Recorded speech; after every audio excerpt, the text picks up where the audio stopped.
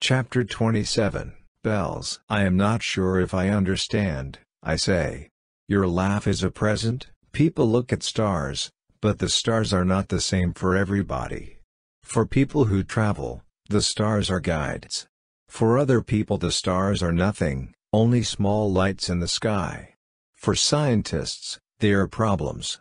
For my businessman, the stars are important because they make him rich. But all these stars are quiet stars. For you, it is different. You have stars like nobody else. When you look at the sky at night, there is one star where I live.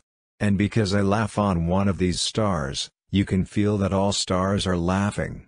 You have stars which laugh. And he laughs again. When I leave, the little prince continues, you can be sad. But believe me, Time can help you be less sad. Then you can be happy that you know me. You can always be my friend.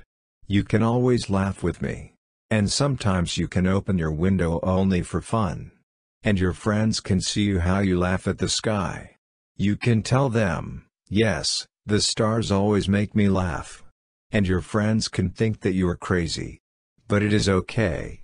And he laughs again. And for you the stars can be like little bells which laugh. And he laughs again, then he is serious again. Tonight, don't stay with me. I don't want to leave you, I say. Tonight, it can look as if I feel pain. It can look as if I am dying. Don't come to see it. It is not necessary. I don't want to leave you, but he says, I also ask you not to come because the snake can bite you. Snakes are bad sometimes. Snakes can bite you only for fun. Then he says, it is also true that snakes have no poison for the second bite. Then the comes. I don't see the little prince leave.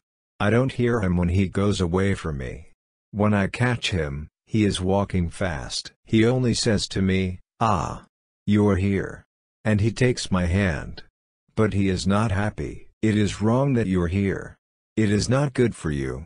It can look as if I am dead.